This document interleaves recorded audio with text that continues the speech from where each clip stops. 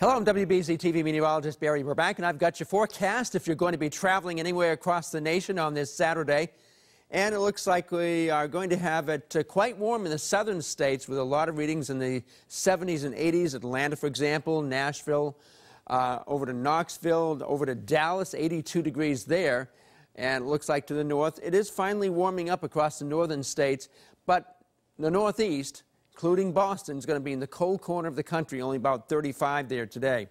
Here's what's going on as we put the maps into motion here. We can see the clouds beginning to develop uh, over the uh, southern states along the Gulf Coast. There could be some scattered showers and storms.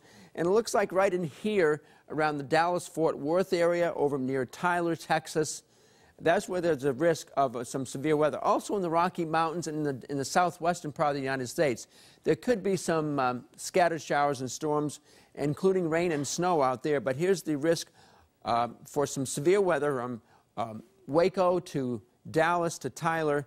That's where there is a slight risk of some severe thunderstorms, but not happening until this evening. The other places over here in the uh, areas of the Rocky Mountains, the Rocky Mountain, the Appalachian chain, from Greensboro to Asheville, North Carolina, and over toward Knoxville, where there could be some showers going on there. In terms of uh, delays, certainly there could be some delays this evening around Dallas and Fort Worth.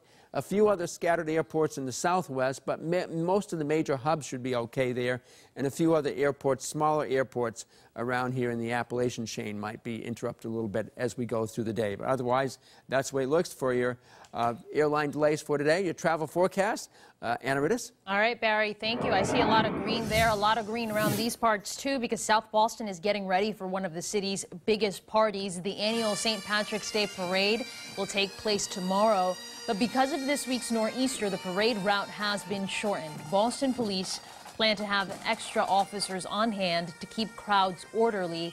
And officers will also be keeping an eye on bars to ensure there is no excessive drinking.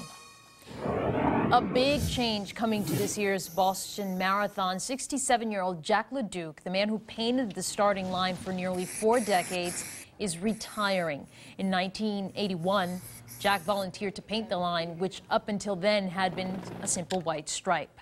Came up with his own designs for years, but now the Boston Athletic Association selects a design that matches the finish line.